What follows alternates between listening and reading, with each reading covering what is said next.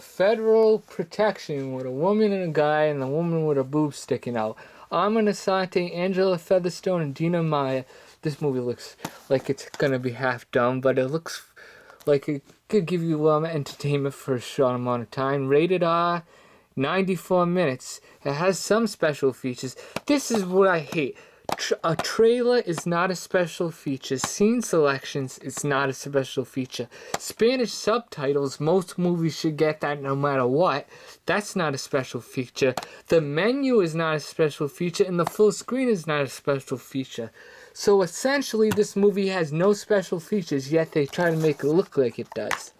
Open it up, Lionsgate. Like I said, I'm not a fan of them, but they sell a lot of movies cheap, cheap, and all that. Um, they're not my favorite studio, but they're not as bad as Mill Creek or anything. Um, you see all these different films. It goes um, it goes back a long time here. Um, yeah, nothing really my favorite though. So um, whatever. The disc is just plain, not much to it. Dolby Surround. Did I say that already? Yeah. Yeah, so this doesn't even have a 5.1 track, but it'll sound great with Pro Logic, so you don't have to worry about if you have a receiver. Decent condition. Now I see sometimes these are scratches. I don't know what the hell. Sometimes, yeah, yeah, that's just that. I'm not gonna ramble on. So, um, yeah, another movie that's about a little over an hour and a half. Alright, that's it. Bye bye.